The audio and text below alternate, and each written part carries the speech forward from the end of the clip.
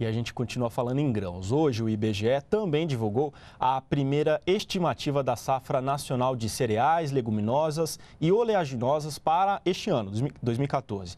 A previsão é de que a produção alcance quase 194 milhões de toneladas, uma quantidade 3% superior ao ano passado.